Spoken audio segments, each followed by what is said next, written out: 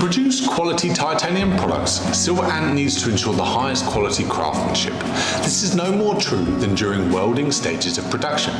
Every product we make in our ultralight titanium collections has multiple molds.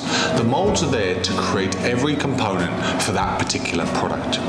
Each step of production needs a mold, not one product, one mold, as the intricacies of every product require different steps. Each mold increases the production cost. For each mold, we will create many copies to increase our production speed. These titanium components are then all assembled during welding. SilverAnt uses precise laser welding technology with the aid of our skilled operators to assemble every product we make. The laser welding is pre-programmed for every product we use and build. We use computer-aided design and specialist manufacturing computer programs to aid in this process.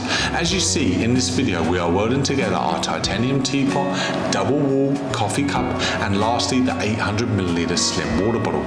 Each product has its own stages and using laser technology greatly increases efficiency in production.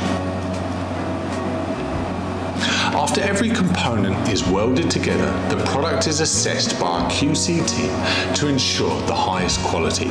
After the welding, the products move on to the next stage of production, which is buffing and sandblasting.